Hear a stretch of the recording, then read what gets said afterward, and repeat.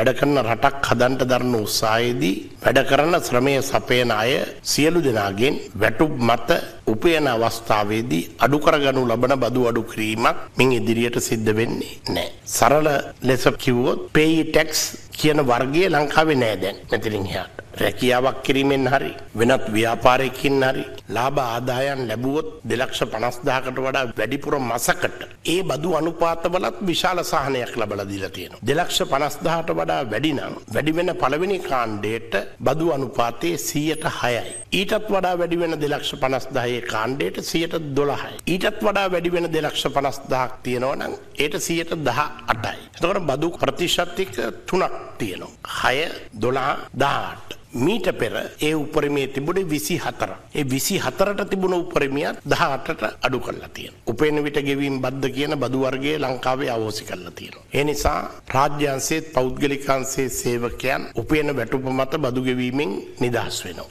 කවර ක්‍රමයකින් හෝ උපදවන ආදායන් ලාභ දෙලක්ෂ පනස්දාට වැඩිනම් මසකට ආදායම් බදු ගෙවන්න සිද්ධ වෙනවා. මේ තුළින් සමස්ත ලාංකීය වැඩ කරන ජනතාවට රාජ්‍යන්සේ සේවකයන්ට පෞද්ගලිකාන්සේ සේවකයන්ට බදු නිදහස තුළින් සුවිශාල සහනයක් වාසියක් ප්‍රතිලාභයක් හිමි වෙලා තිබෙනවා. මුළුමනින්ම අහෝසි කළ රැඳුම් බද්ධ සම්බන්ධයෙන්ද අමාත්‍යවරයා අදහස් දැක්වූවා. ස්ථාවර තැන්පත් හා ඉතිරි කිරීමේ ගිනුම් මත රැඳවුම් බද්දක් අය කරනු ලැබූ. මේ රැඳවුම් බදු කියන වර්ගය ඉවත් කරලා තියෙන.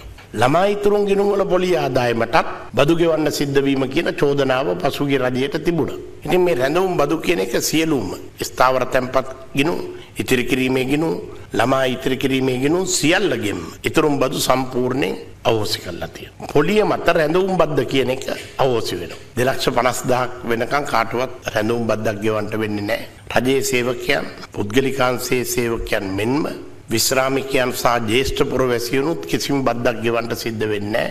තොරතුරු තාක්ෂණයේ නව පෙරලියක් අපේක්ෂාවෙන් එම ශේත්‍රයේ සියලුම බදු ඉවත් කර ඇති බවද අමාත්‍යවරයා එම මාධ්‍ය හමුවේදී වැඩදුරටත් සඳහන් කළා.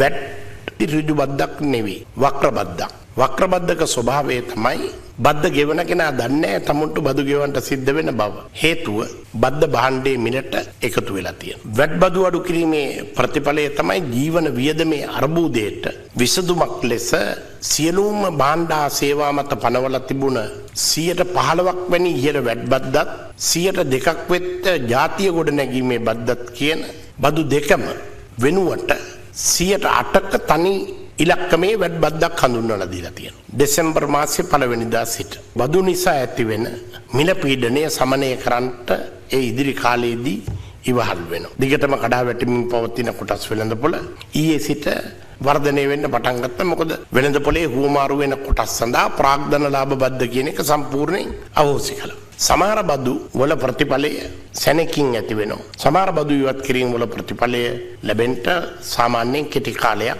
ගත වෙනවා. තොරතුරු තාක්ෂණය හා සම්බන්ධ සියලූම බදු වර්ග මුළුමනින්ම අහෝසි කරලා තියෙනවා. ඒක තොරතුරු තාක්ෂණයේ විශාල පිබිදීමක් සඳහා හේතු වෙනවා.